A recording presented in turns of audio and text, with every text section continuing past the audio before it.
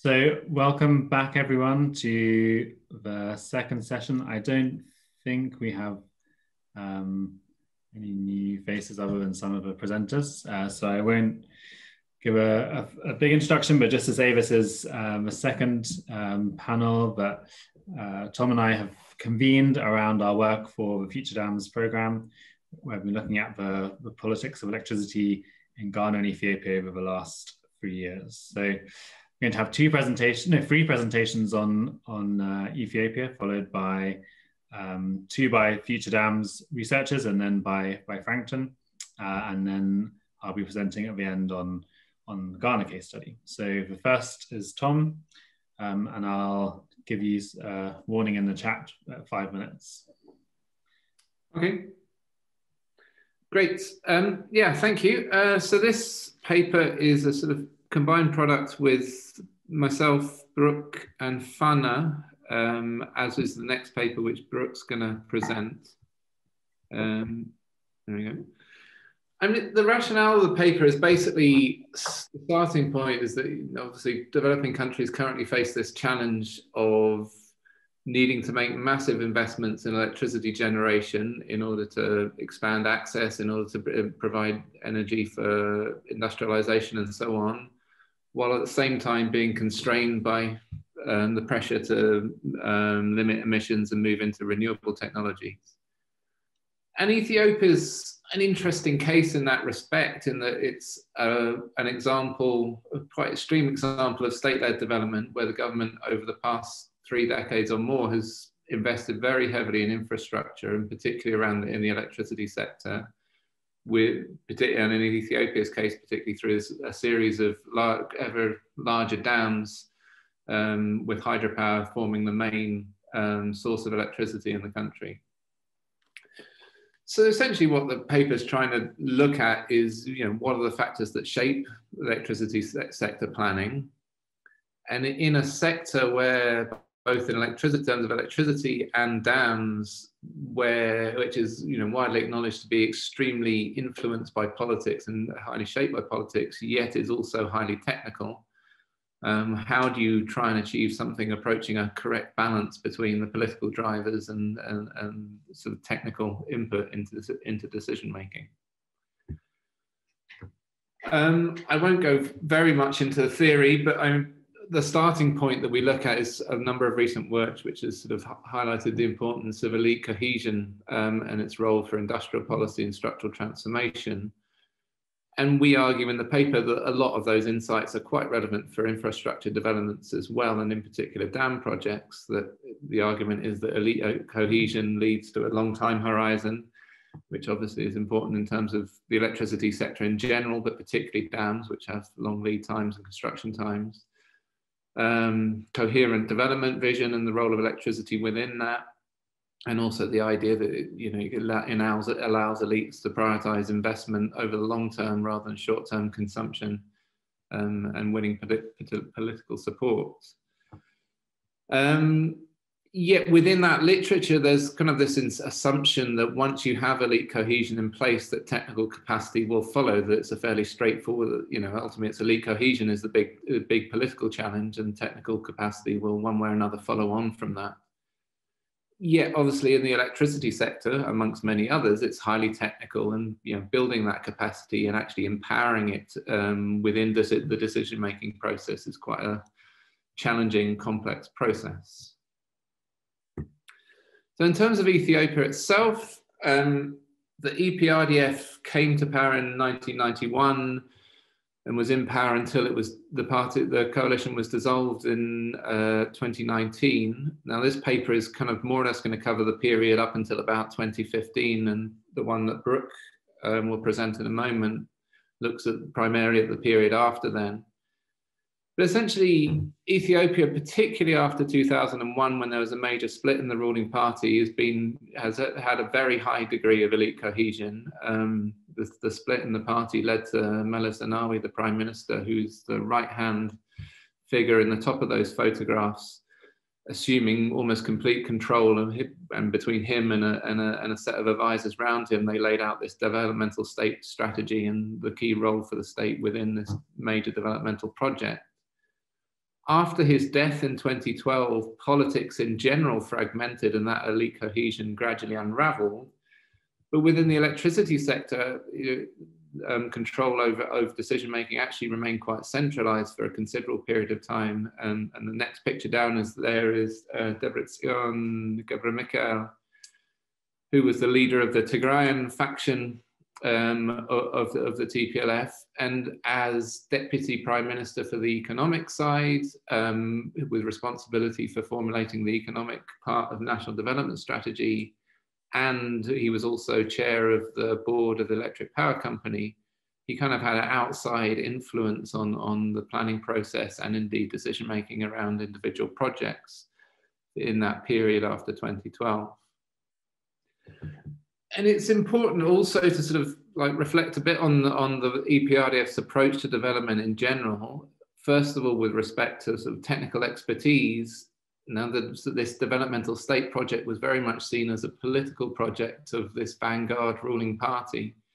And the civil service in general, including sort of expertise within the electricity sector, tended to be viewed as an obstacle that, you know, that they weren't people weren't ambitious enough and there was a need for politicians really to push them to sort of for the step change in ambition that was required to really push Ethiopia into development and structural transformation of the economy.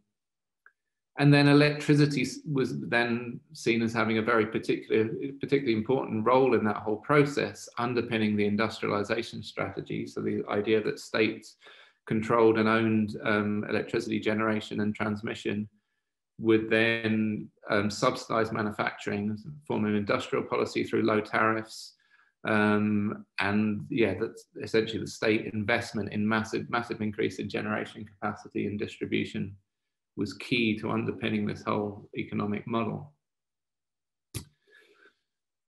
And a lot of the paper looks at sort of the planning process and the sort of process of target setting and where those targets come, come from. Now this graph is a bit complicated, but essentially the red lines are the two power sector master plans um, put together in this period of the sort of first decade of the 2000s.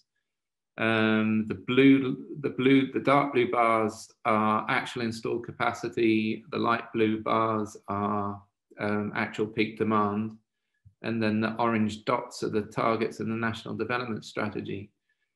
So essentially what this shows is that, you know, you initially in the early 2000s, you had this plan to increase, increase generation capacity um, in fa fairly to fairly modest to a fairly modest degree, so not not enormous increases. And the first national development target in 2005 was very cl closely aligned with the power sector master plan and was fairly easily reached with the completion of one dam project. But essentially, from the mid 2000s, there's this kind of both a, a step change in ambition and um, from the political side, and a sort of a, a, a, separation of the political ambition from the from the technical planning process. So as this one quote illustrates this sort of change in ambition that we'd planned for seven um, seven percent growth per year, but unexpectedly found 10% one year in 2014 and that demonstrated that this is possible and it should be maintained. And really, from that point onwards, there was this huge um, step change in ambition and expectation of, uh, of rapid development from that period onward. And you can see that in, in that particular target for 2010 from the National Development Plan, nearly double um, what was what was expected within um, within the power sector master plan, which was the more technical assessment of what uh, prediction prediction of what was going to be peak demand by 2010. Um, yet in that particular instance, it was met with the completion of the Gibe 2 hydropower project and the Tekeze Dam in northern Ethiopia. But subsequent to that, it all goes um, e even more um, implausible that from the two these two graphs show the similar similar things for the for the next two development plans the growth and transformation plans in from 2010 to 2020 and the basic rationale of the from the government side is summed up by that quote that the, the targets were very high. Meles used to say it's backbreaking heavy investments that's required and that we had to really push ourselves and essentially the yeah the, any any link between the technical planning process um, um, and and and um, the political targets is is clearly disappears from that point onwards. So in the first graph, you've got the, the again the 2006 master plan in the red line, which bears no resemblance to this enormous target for installed capacity on, with the orange dot. So nearly five times what what projected peak demand was going to be. Um, and as a result of the delays to the Gibe 3 dam and, and the Grand Ethiopian Renaissance Dam, they get nowhere near that target.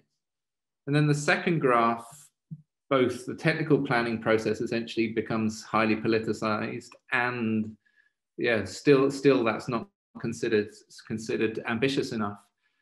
So essentially the master plan in 2014 was conducted by a, some foreign consultants who were essentially told that they had no option but to integrate the national the, the, the plans from the national from the from the previous national development plan, which was already proving to be highly unrealistic.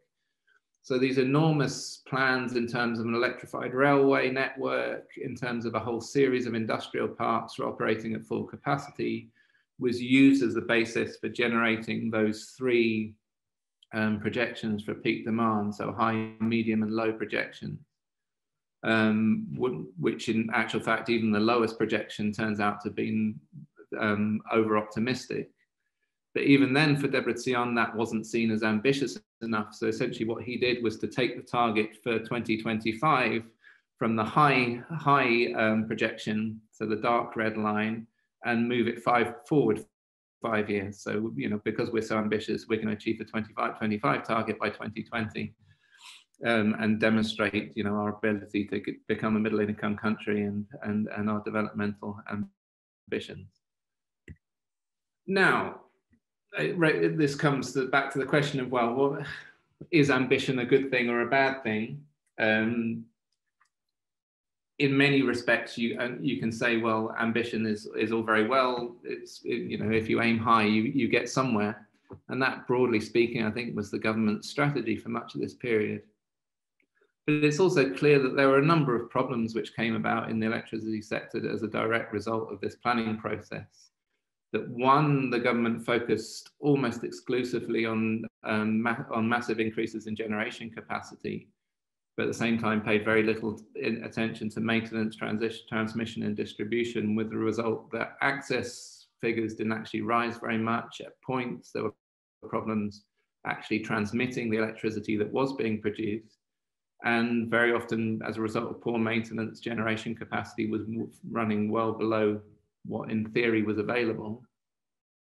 The master plans quickly became meaningless and una- yeah, unable to provide any kind of meaningful assessment of either future demand or future supply because they were you know both both sides of that equation were based on such unrealistic plans and there was this massive increase in, in, in debt as a result of failure to, failure to expand access, low tariffs, and this um, yeah, massive investment in, in generation capacity and Biruk will come back to that in the next presentation.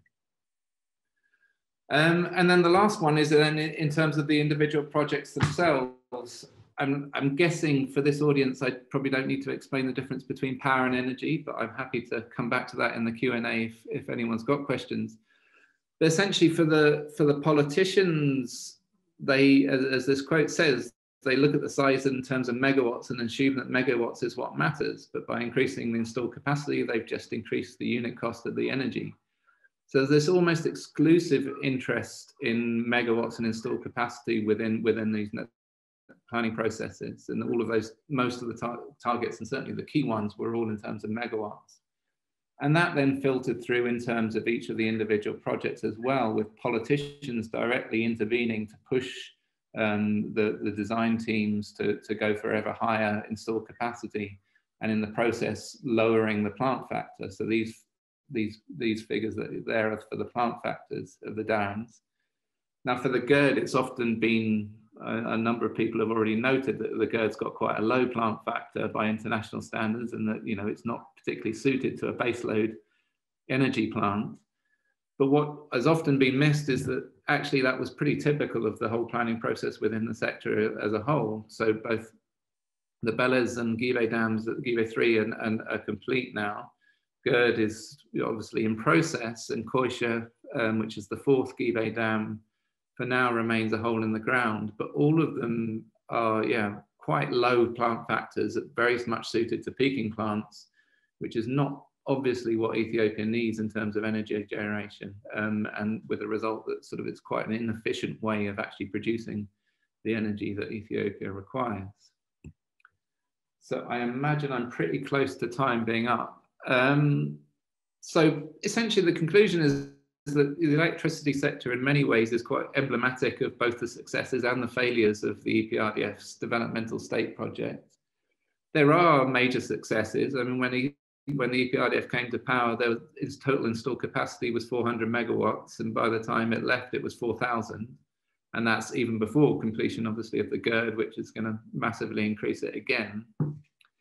But at the same time, there's clearly an imbalance in this whole planning process where you've got politically driven targets, which are then undermining the, the any any possibility of a technocratic planning process, and indeed the, the actual performance of the sector which again, going back to the, to the sort of more theoretical point, is that clearly elite cohesion is not enough to for, for, um, for, for effective development processes, and you know the relationship between political elites and technocrats is also extremely important in terms of understanding how decisions get made um, within the sector. I will stop there. Great, thanks, Tom. Uh, that was really interesting. So now on to Biruk to continue the story. Yes, hi, thank you. Um, let me just share my slides. Can you all see that?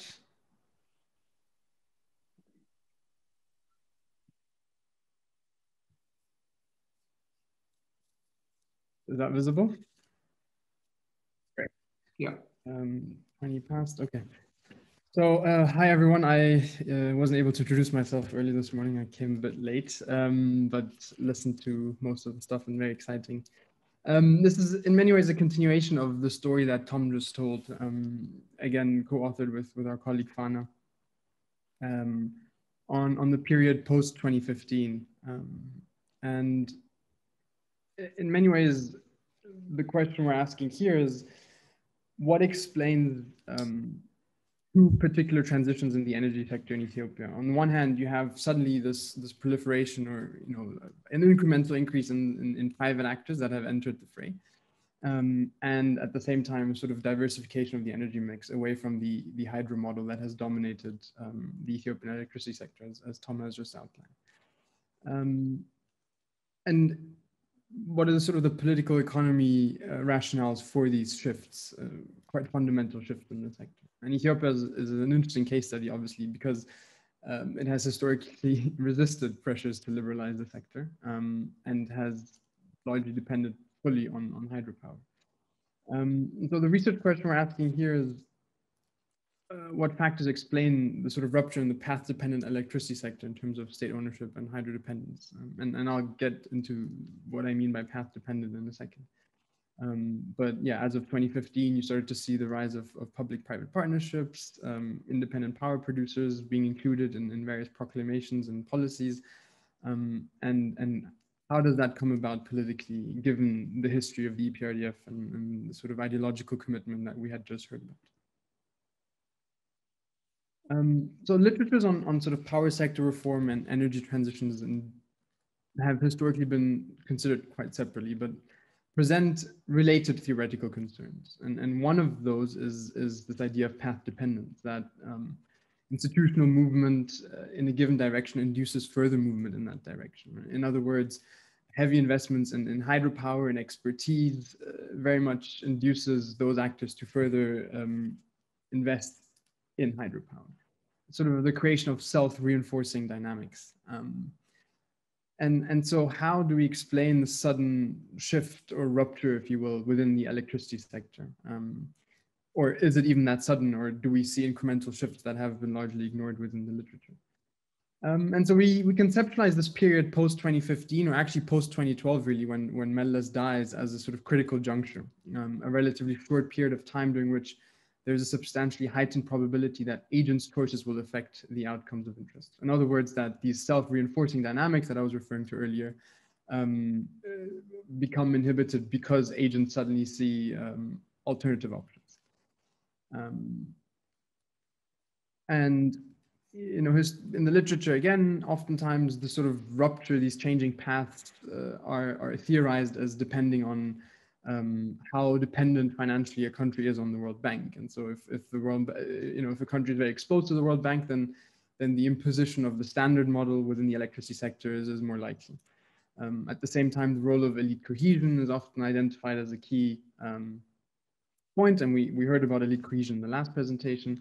Um, and, and we argue here really that intra-elite relations or the shift in those relations, the reconfiguration of the of the internal politics within the EPRDF, uh, uh, the rise of a new generation of, of, of politicians um, in combination with, with a range of, of financial um, factors, which I'll get into in a second, really uh, shape um, a subsequent embrace of, of reforms in the sector. So just a very brief sort of laying of the context. Um, the EPRDF in many ways inherited quite low levels of debt from, from the Derg. Uh, and so, you know, ELPA was, was established in 1956 uh, as a monopoly, um, focused on generation, transmission, and distribution. Um, and then you had the Derg, a sort of military junta that, that ran Ethiopia between 1974 and 1991. Um, that very much continued uh, along those lines. And when the EPRDF comes to power in 1991, um, as I've just mentioned, they inherit quite low levels of debt from the Derg and are therefore able and quite autonomously to, to dominate the sector.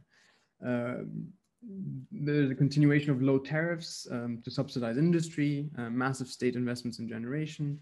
Um, and at the same time, there's sort of a view of the private sector um, as, as a parasitic rent seeker. You know, this is this is what Meles used to call um, certain private actors to say, um, you know, I'm not interested in, in having the private sector engage in, in the generation of electricity because their discount rates are so steep that ultimately it is our population, our, our people that will suffer the costs of it. Um, and so there was very much this view of, of maintaining autonomy over the electricity sector as well as many other sectors, but the sort of commanding heights of the economy, as he called them in particular, um, including the electricity sector, telecoms, etc. Um, and this involved also resist, resisting donor pressure from time to time, resisting the World Bank and the IMF um, with when they came along with reforms. Um, uh, you know, as, as the quote there illustrates, you know, uh, they told the bank, this is the extent that we can go. And if that's not enough, then we don't want your money. Very much highlighting how um, the, the level of autonomy that the EPRDF had via vis the donors. Um, but at the same time, what you saw over the you know first 10, 15 years is that hydropower and the dependence on dams became embedded within the technocracy. Uh, you know, expertise, ideological commitment, financial investments um, within the ministry, within the agencies, and within within the corporation as well. Um, and, and, another quote here, water has been the message since childhood. It is what you are told in school, that's the country key resource is water. It comes from that mentality. This is again, a senior, senior official at the EPRDF uh, stating this. So you have, um, you know, this huge hydro dependence in Ethiopia, um, really up until 2015, um, even now, if, if you will, but, but we see a slight shift. Um, but before we go into that, it's, it's, sort of important to understand why the dependence on hydropower was so sustaining. You know, on the one hand, the alternatives were really not there for for for many reasons. So geothermal, um, you know, Ethiopia is sitting on on some of the best hydro um, geothermal resources worldwide, uh, according to people who are familiar uh, with that space, including one of the um, private actors now involved but uh, has major upfront costs. So, you know, a 2.5 kilometer uh, deep uh, exploratory exploratory drilling um, exercise can cost up to 7.5 million US dollars, and the chances of of not getting anything out of that are are quite high. And so, um, that was not necessarily the option for for the EPRDF. wind and solar um, at the time in the early 2000s were, you know, the EPRDF lacked the expertise, as I've just said, because they'd invested so much in, in hydropower. But also the costs were, were quite high at the time until um, you know, about 10 years ago. But you do see um, investments in, in Adama wind farms at the bottom and at the top, that's the Tulu Moye um, geothermal plant. So you see sort of attempts to, to grapple with alternatives. Um, hydropower, on the other hand, had high upfront costs, but was cheap over over life cycle relatively. And um, again, EPRDF had planned, you know, had these 20, 30 year plans ahead of it. So in many ways, it wasn't planning to be in power for for uh, just uh, the next five years, but really was planning along the long term. So hydropower was the way. A major factor that started uh, increasing doubts or, or shifting in, in the in the ideology was the the drought in 2008 and 2009, um, where suddenly they had to fall back on largely diesel generators, which was quite costly.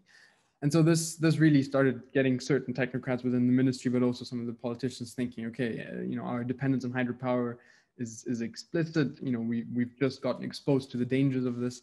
Um, maybe it's time to consider alternatives. Um, but as time went on, again, uh, that thinking was eclipsed by larger dams. The Grand Renaissance Dam comes into play in 2011. There was less drought afterwards. Um, and so again, sort of hydropower dominance uh, continued. Um, so really, 2012 is, is the sort of critical juncture. Um, where we suddenly see the rise of a political crisis, but also a debt crisis. And it's this combination that results in the shifts that I, that I will outline uh, in the next two, three minutes.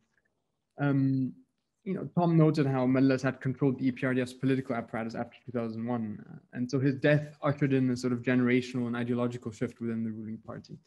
Um, suddenly you had increasing debates about the role of the private sector and, and more generally, um, but also the electricity sector in particular. So at this sort of critical political juncture, uh, you see the IMF raise the assessment of Ethiopia's debt from low to moderate risk of distress, um, raising questions of how Ethiopia will service debt in light of weak, weak export growth. Um, and so the limits of this debt financed affair were becoming clearer and clearer uh, while this political crisis was, was taking place. Um, and you see this in, in the three slides here, um, you know, external debt to uh, GDP ratio, well, well, debt to GDP ratio here almost at, at 60%, uh, dramatically increasing after 2012. Um, um, the IMF's threshold for uh, the external debt to exports ratio was was also crossed in 2014, um, where the IMF then started raising its, its own flags and ringing the alarm bells.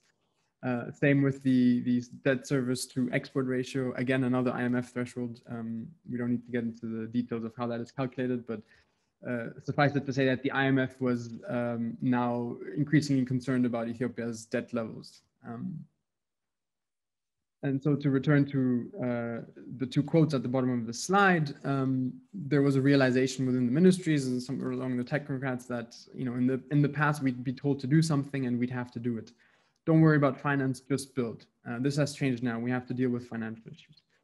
Um, and secondly, there's also this debt problem where we don't really have another choice but to privatize. So on the one hand, you have the sort of shift within the political um, elite. Haile Mariam Desalegn becomes new prime minister. Arkebe Oqubay and others around him um, are more open to private investors, largely also in view of the industrial parks and the need to manufacture and uh, have Ethiopia enter middle income status. Uh, and you see also um, the old guard being sidelined in many ways, those who have sort of deep ideological commitment, not only to hydropower, but also to you know, the, the, the notion of, of this being a state-led um, affair. Um, and so, you know, the period between 2014 and 2018 is, is one of massive protests in Ethiopia, which culminates in the appointment of Abiy Ahmed in 2018.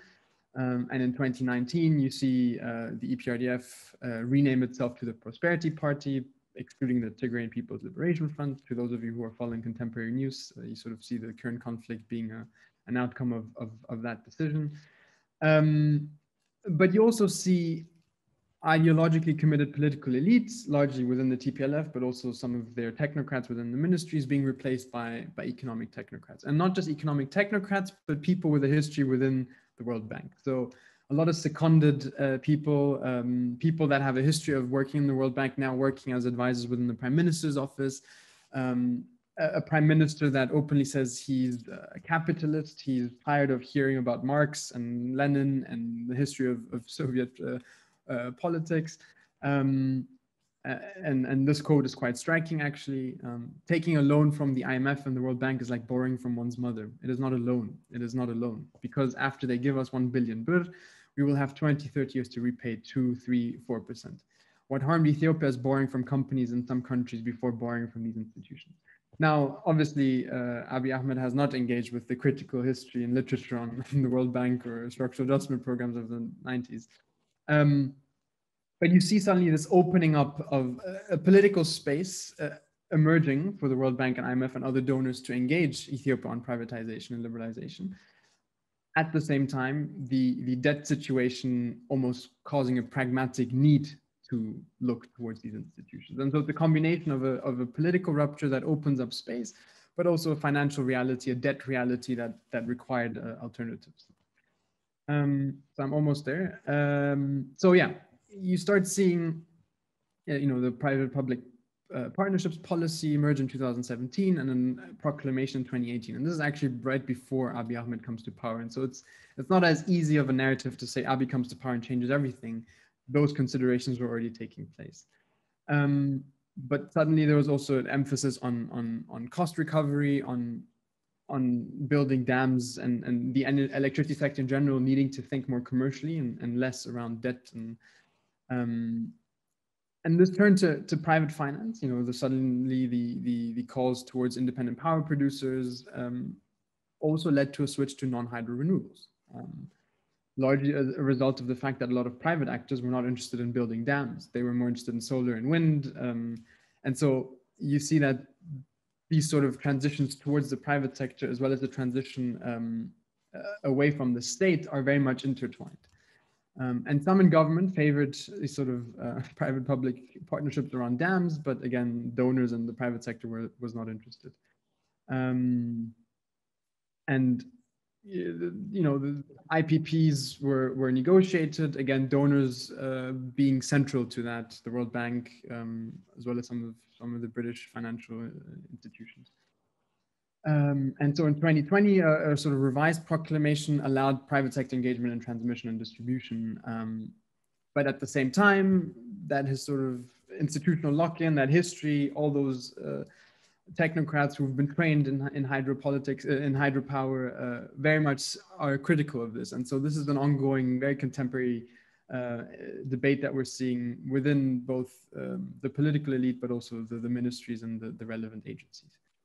Um, and so to conclude, um, we're now, you know, state hydroelectric dominated sectors now opening up both for private sector uh, activity in, in generation um, and uh, other renewables.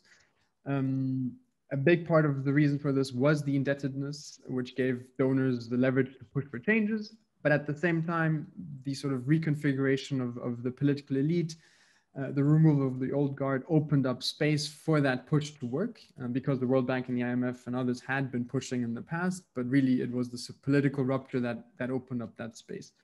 Um, and at the same time, despite that opening up of, of the political space towards this transition, you still see a lot of suspicion of the private sector, um, given the history of, of, of hydro uh, in, in Ethiopia and, and the expertise and sort of ideological commitments that still do exist.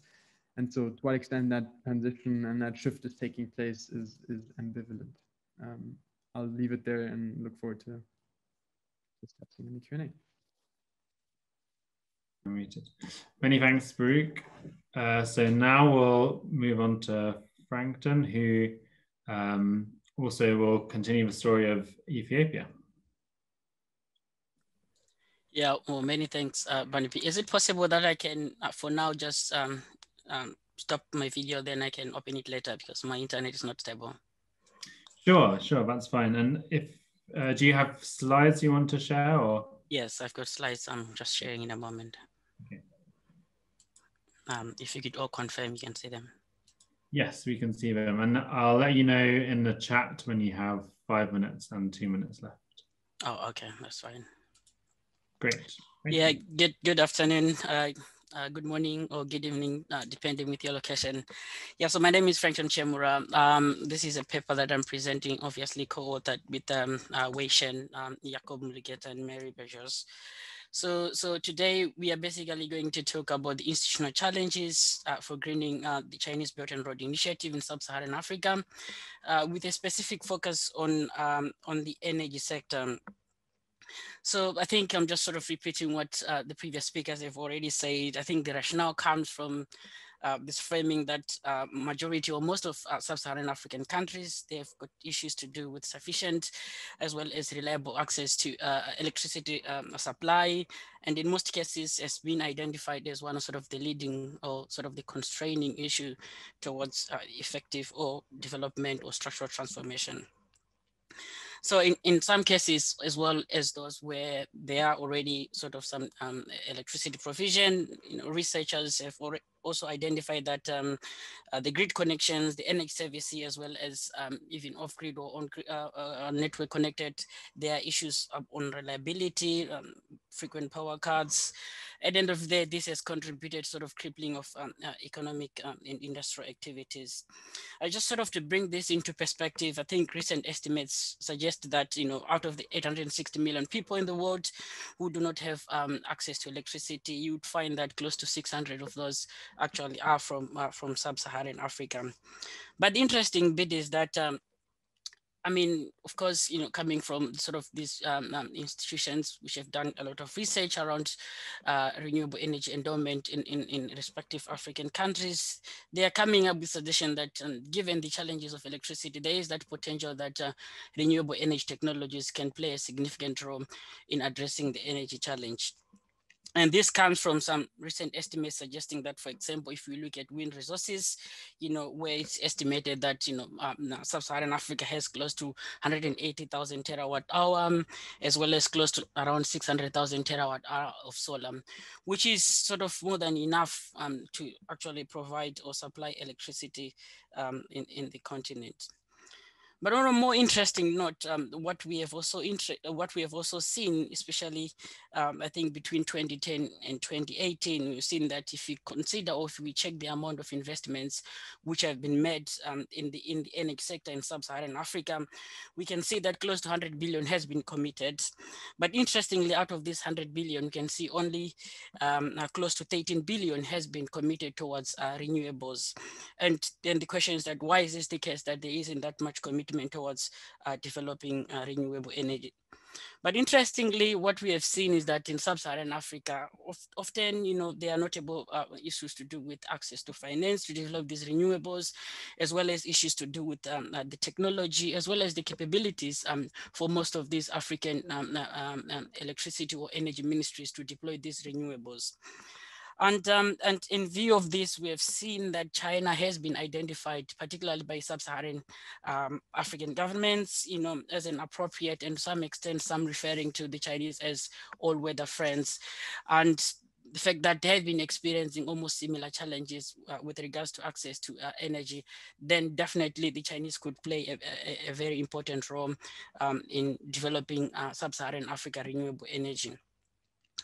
But if we do assess the sort of the scope of, of, of and the magnitude of Chinese involvement uh, in Africa's um, uh, power sector, we can see that um, um, especially between 2003 and 2023, uh, we are using the uh, database from um, uh, the recently commissioned from Boston University in partnership with the China Africa Research Initiative, where we can see that hydropower indeed has really dominated um, um, um, Chinese operations in Africa compared to wind, which is um, about like 690 of course, the dominance here coming from um, um, um, Ethiopia and to some extent South Africa.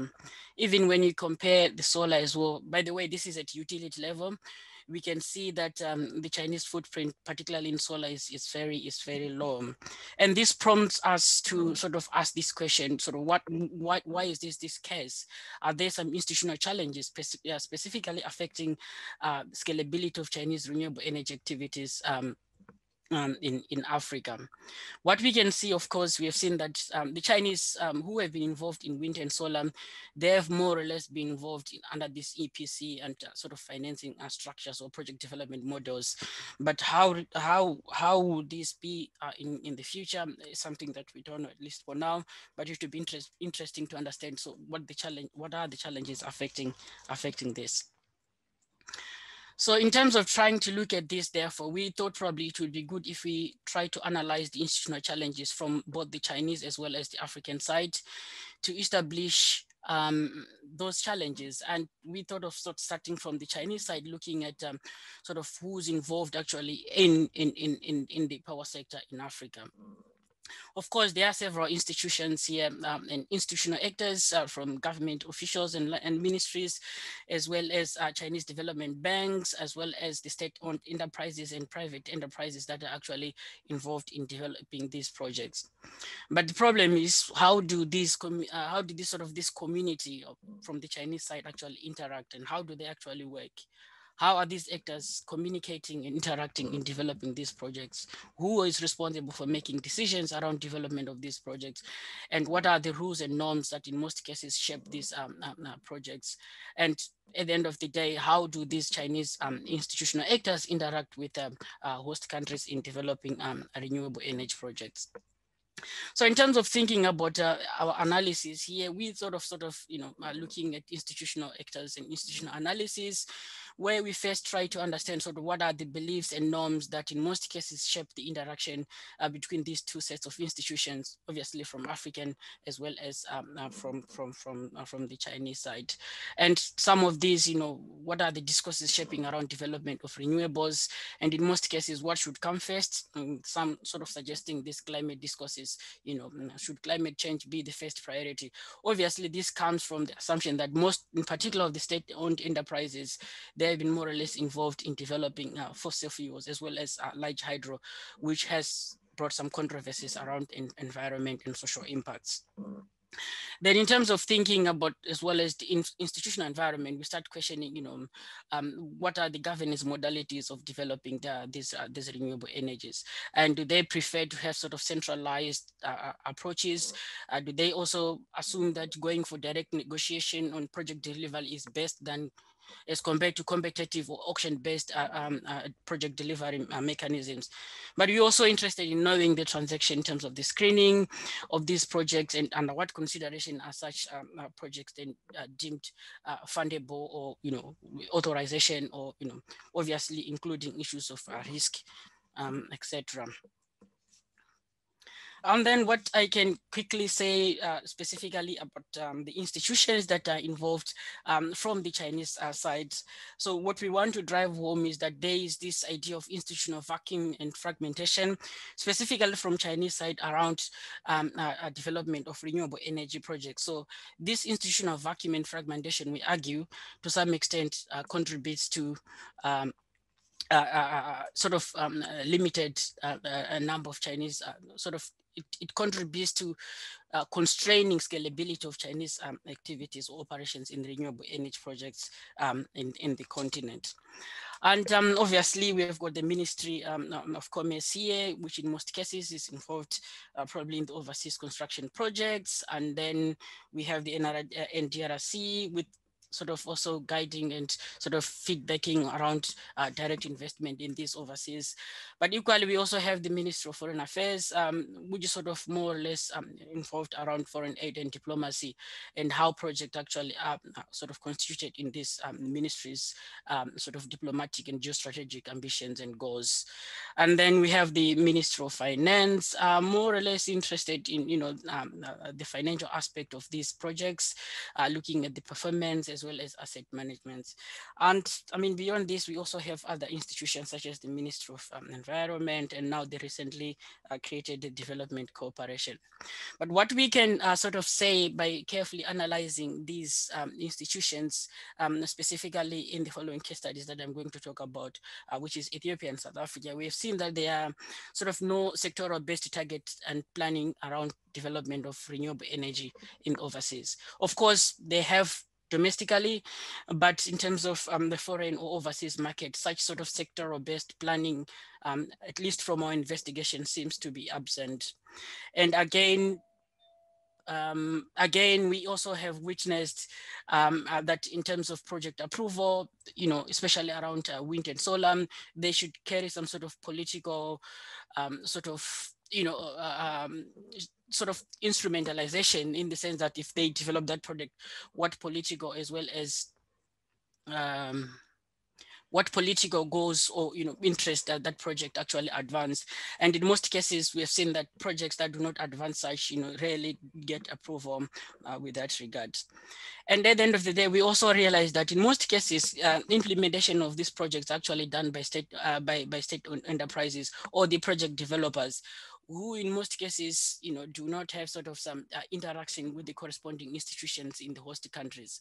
And because of this, then it contributes to this vacuum, um, um, institutional vacuum and fragmentation on uh, project development, thereby um, constraining or challenging scalability of Chinese renewable energy projects um, in Africa.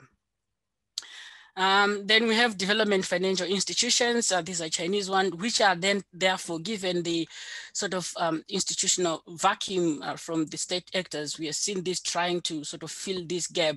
Um, and in most cases, they are involved in trying to sort of um, screen this project as well as selecting.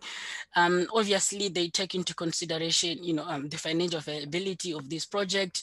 And of course, there are some political economy drivers around decision making for this project, but they tend to take a more technical um, sort of decision making um, approaches towards um, um, um uh, development or involvement in this project. But the interesting bit in most cases about these development finance institutions, they always say issues, for example, to do with environmental and social impacts. In most cases, they are not part and parcel of their own consideration around decision making. Rather, I think partly comes from their experiences of dealing um, uh, with African uh, countries in the sense that they tend to delegate that responsibility to the host countries. Um, uh, but what we can conclude is that um, these development financial institutions, I think increasingly they are becoming ambivalent and becoming as well as assertive um, uh, towards renewable energy projects uh, vis-a-vis -vis, um, conventional um, energy, uh, conventional energy projects, because for them they have this assumption and belief that um, conventional energy projects, including hydro, they're always easy to get support around, uh, even from um, sort of Chinese top, uh, for example, state council and other key decision makers. Uh, we have a number of uh, sort of state-owned enterprises that are actually involved in sort of um, operations or implementation of these projects. And um, I think in the energy sector at the moment, we have about like big four um, from state-owned enterprises, but equally there are also other private um, um, uh, um, owned enterprises being involved in the sector. And in most cases, they tend to cover all or any sectors from renewable to non-renewable. And the way they interact with the host institution in Africa and sub-Saharan Africa is for uh, what they refer to as demand-driven um, approach in project development. So in other words, the respective African country should be the one uh, doing the project initiation um, around this. Um, I'm just seeing an indication in the chat. Is it a timer or, uh, okay. All right, thanks. I wasn't checking, sorry, but yeah. Um, let me just try to, okay. Um, so, so what, what, what we can say about um, um, from from the Chinese side of the argument is that they still this idea of fragmentation around institutions, specifically from the government, who are actually involved in, in, in this project, and still there's sort of this limited limited um, uh, uh, power to make decision because in most cases that is uh, delegated to the um, uh, to the sort of the business communities who are actually involved in um, uh, developing these projects. Um, in terms of the finance side, we see that the project screening processes is well, and in most cases, all about risky and the uh, viability from a financial perspective of these projects. I just wanted to quickly sort of um, have um, a discussion on, on the case studies to also establish sort of what are these institutional challenges from the African side. And we had uh, Ethiopia and South Africa uh, as case studies, but I'm just checking the time I'm left with two minutes. So I think um, some of the things then I can sort of um, uh, uh discuss in the Q&A if that's fine, Barnaby. Um, yeah. Yeah, you have uh, 30 seconds left on. All right, so let me just quickly uh, go to my conclusion anyway. Um, um, all right. Okay, uh, so so what we can conclude basically is that um, uh, Chinese overseas energy activities in most cases are driven by what we refer to as enclosed policy community, which in most cases is comprised by key ministries as well as development, finance, and um, uh, state-owned enterprises. These in most cases have got the decision to decide which project goes and which doesn't. Uh, we understand that although we consider it as stable, but we still believe it's still very rigid to an extent that it's even not passing up with some of the institutional changes or reforms happening um, in, in Africa. And if I had sort of spoken about Ethiopia and South Africa, I would have sort of mentioned those institutional changes and how they are affecting the Chinese operation. Now, for example, you know, the issue of debt, which had been mentioned in the pre, by the previous speaker, and how the Ethiopian government then is moving from this EPC sort of um, uh, and financing models of project delivery to more of this auction-based or competitive uh, tenders and stuff. And we have increasingly seen from our feedback that the Chinese actually, they are finding it difficult to be involved in these sort of tenders and um, for for a variety of reasons, which I can pick up in the in the in the in the uh, in the Q and A. What we conclude, therefore, because of these constraints, you know, these at the end of the day contribute to sort of limited scalability of Chinese um, um, renewable energy activities um, in, in, in Africa. I think I'll just end then. Most of the things I think I can pick up on the Q&A. Sorry for going above board in terms of time. Great. No, that, was, that wasn't too far over time.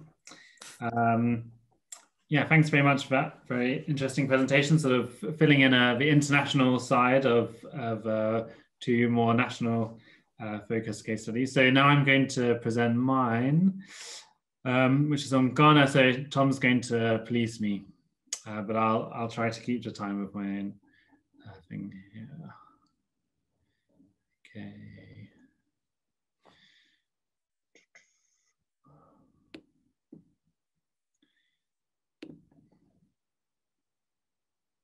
Okay.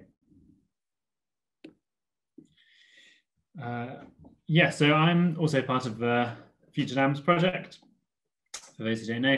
And I, my presentation today builds on uh, that presented earlier by uh, Simon, but here focusing more on the, the generation side and particularly thinking about um, the application of the standard reform model and the idea of a good governance agenda um, in Ghana, how it's been applied and how it contrasts with a more sort of heterodox understanding of the political settlement there. And in particular, I, will focus on two sort of key uh, rationales or, or, sort of factors that, that, affect the electricity system. One is a sort of politics of survival around uh, short-term, electorally focused policymaking in a very highly competitive and strongly centralized environment. And the second is that the role of ideas and ideology, which uh, sometimes, uh, well, particular moments in in uh, Ghana's policymaking have uh, created have have had a, a, strong influence.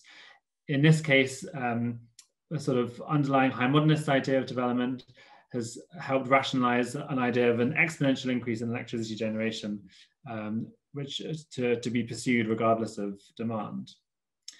So I'm sure for this audience, a lot of a standard reform model is and uh, good governance agenda is, is very familiar, but just to sort of give a, a brief outline, it's rooted in the work of, of George North and New Institutional Economics, which had an idea that the 1980s structural adjustment plans needed to factor in politics to a greater extent. Um, and, and their solution to this was to really focus on institutions, particularly formal democratic institutions and, um, and markets. So idea is sort of adding in this institutional focus and, and the incentives there would help uh, get the reforms right. In the electricity sector, this uh, was this, this application is called the standard reform model and can be sort of roughly summarized as um, a real focus on regulated, transparent tariff setting, on the unbundling of the different functions of the electricity system, so the generation, then the transmission, the distribution, and the commercializing of those different functions ultimately into private utilities, uh, for example, independent power producers, with then markets uh, governing each of those stages of the electricity system. That then all gets underpinned by independent regulation and, and legislation. And so this recent uh, World Bank report sort of has a diagram which, which sums up some of the rationales involved here.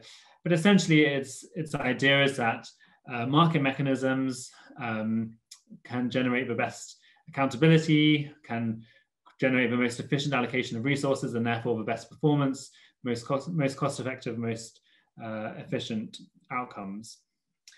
But uh, this, this model, the, the good governance applications uh, to the electricity sector hasn't had a lot of success uh, uh, either on, on the more economic side or on the political side. And so there's been an evolution of thinking in, in the last uh, five to 10 years, um, which Hazel Gray calls new, new institutional economics. And so this sort of adapts the existing theory by focusing or sort of appreciating the role of the state to a greater extent, the importance of, of understanding politics. And in the electricity sector, this has uh, this sort of evolution has can be seen to some extent.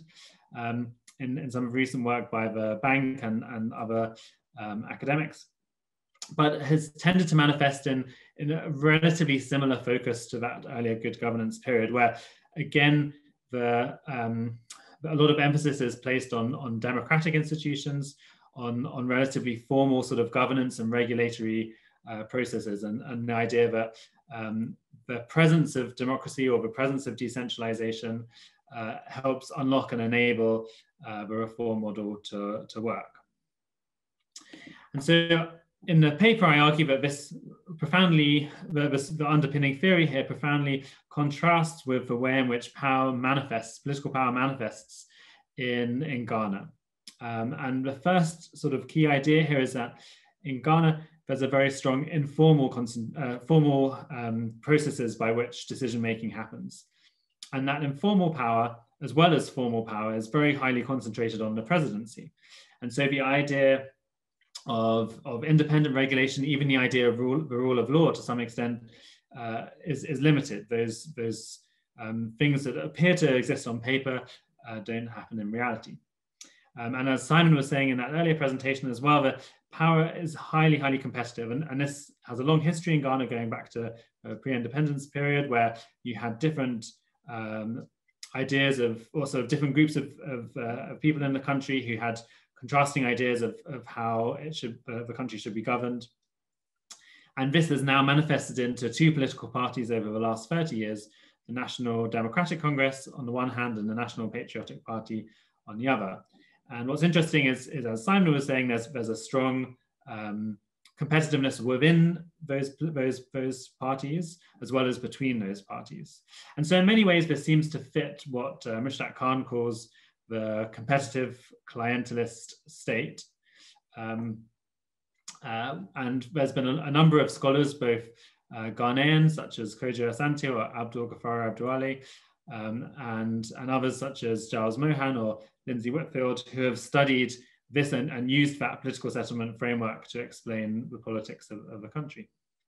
Um, but today I'm, I'm, not going to be follow, following a sort of uh, the classic political settlements analysis, um, uh, partly because I'm not doing a sort of longue durée of the electricity sector, but also because I don't want to just sort of pigeonhole Ghana in a, a particular uh, box and, and rather reflect some of the, the, dynamism that you see in the empirics but also because I want to stress the importance of ideas and ideology at, at a particular moment in, in Ghana. And um, to illustrate uh, the, these, these sort of points about how, how, how power manifests and the contrast between this more heterodox understanding of, of the country's political economy um, versus that of the standard reform model, I'm going to look at two particular power crises in the country. Uh, the first of a power shortage, which was in, in Ghana called Dumsor. The second, um, a, an uh, oversupply crisis, which created a lot of debt. So this first one, the Dumsor power shortage crisis, started on the 27th of August in 2012 when a small group of pirates triggered the first of two major power crises in Ghana. Attempting to escape from the Togolese Navy on a captured oil tanker, the pirates left the ship's anchor trailing. And this broke the West African gas pipeline, which transports gas from Nigeria uh, to Ghana, sparking a major fuel shortage. And that combined with a drought um, to, to really plunge the crisis, the, the country into, into a prolonged crisis for four years. But that crisis was then quickly replaced in 2016 by one of overabundance. Um, Ghana went on a power construction overdrive between 2014 and 2016, signing 43 deals with private companies uh, in what's called take or pay contracts that involve um, the offtake of a, the electricity company of Ghana having to pay for 90% of the power they make available, regardless of whether it was used. And this is a crisis because um, it had a costly bill. And you can see here this, this huge increase in power versus demand. And that meant that Ghana was having to pay for all of this power without actually being able to, to sell it. Um, and in 2018, this reached uh, 4 to 5% of uh, GDP, of, estimated by the bank, and, and that's only increased over time. So, how to explain these crises? Uh, Ghana has, in many ways, been one of the more, the better sort of adopters of the standard reform model in Africa. And so, if it was to work anywhere, surely it would be here. It's it's unbundled its its uh, its sector so that there's different utilities for those different functions. It's introduced um, the private sector through IPPs. Uh, it also has independent planning and it also has a, another independent regulator who's supposed to um, set the tariffs. So surely it should be working here. Well, um, I, I, argue that although there was some immediate uh, external causes for the Dumsor crisis, the breaking of the gas pipeline and, and a drought, those aren't enough to explain why the crisis lasted quite so long. Um, they, those issues were largely fixed by, uh, by within a few years, and, and also the, the country's installed capacity increased during that four-year power crisis. And so to understand that, you have to understand why the capacity that was online, that was, was there, was not uh, functioning, was not running. And there, the answer is, is basically that it was in thermal generation and there wasn't enough fuel for those thermal plants. Why wasn't there enough fuel? Well, there doesn't seem to have been enough money. Uh, ECG was had uh, significant debt and wasn't able to pay the power producers to, to buy the fuel to do the generation. Why was there not enough money? Well, that is rooted in the country's competitive politics. Um, after there was an election in 2012, elections in Ghana are very expensive because of that competitiveness, both, as I was saying, within the party and between the parties. And so the, the government has spent a lot of money in that 2012 election. After the election, there was a deficit, and they stopped or they, they didn't pay their full bills for the electricity that the state was consuming. So that was the first problem. The second problem is one to do with tariffs. And uh, here, um, the, the key thing to understand is that although the tariffs are supposed to be set independently, that informal concentration of power means that essentially the president can decide uh, what the tariffs are and frequently intervenes in that tariff setting process. So that you've only had very short periods where, there, where there's been a sort of strong technocratic uh, setting of tariffs and, and they've automatically increased. The result is that tariffs aren't sufficient to cover the system's costs. So again, you have another issue around there being insufficient money in the system to, to pay for it to work. Um, and so, yeah, the result is therefore there, isn't, there wasn't enough money to buy the fuel to, to run the plants, and you had this long crisis. Um, but, but the two crises are, are, then related. Why do you then have an oversupply crisis immediately after this, this, uh, this shortage? Well, one of the reasons is, is uh, that there seems to have been a significant degree of, of panic in the run up to that 2016 election, which led to an overreaction by the state. The, re- the, the, the need to sort of uh, respond to these huge protests in the country, uh, what some people call Ghana's first um, middle class revolution, where the slogan "No power, no vote" became became a very popular.